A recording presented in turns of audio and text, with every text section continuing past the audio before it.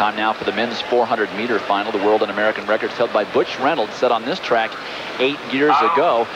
And Roger Black of Great Britain, the silver medalist from Atlanta, is in this field. He ran a personal best to win that silver medal, and he's probably very happy because he says no one can beat Michael Johnson at 400 meters.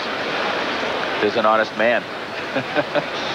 he lives actually in Irvine, California. Uh, Sven Nylander trains with him there, and, and uh, they get the good weather of Southern California year-round. Three Brits in this final and three Americans, three of the Americans from the gold medal winning 4x400 relay.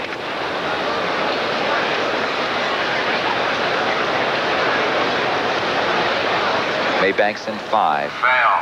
In six is Mills, seven is Smith. And many would say that Anthuan Maybank in lane five on Roger Black's outside is the man to watch in this race. Has been running better and better throughout the season. He anchored the winning 4x400 relay for the U.S., and he is out like a shot, Larry, making up the stagger on Derek Mills. It is definitely the power and strength on the backstretch of Anthuan Maybank. He's got the lead. Let's see if he dies down the home stretch. Very fast first 200 meters, Dwight.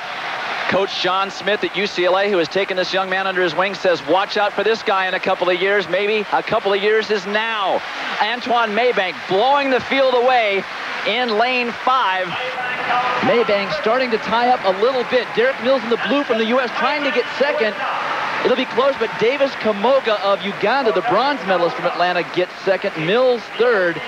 And Anthuan Maybank very close to a personal best. His best coming in 44.15. So a strong victory for Maybank here at the Zurich Weltklasse meet, Larry.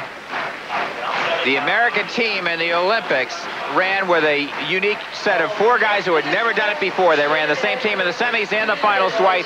This is the man that anchored that. He is now pouring around the turn. He handled the pressure of the semifinals and finals very, very well. Stayed real cool as the man to his left, Roger Black, gained on him during that last lap. And about this point in the race, he just left Black and pulled away. Ran 43.87 seconds on his anchor leg for the United States. Definitely a coming young star. He's the only man ever to get under 45 seconds and be also a 27-foot long jumper. What talent. Results of that men's 400 meters, Anthuan Maybank, 44.18. And as Larry mentioned, he ran under 45 and jumped over 27 on the same day at Drake Relays a few years ago. Kamoga, the bronze medalist from the Olympics, second, and Derek Mills of the U.S.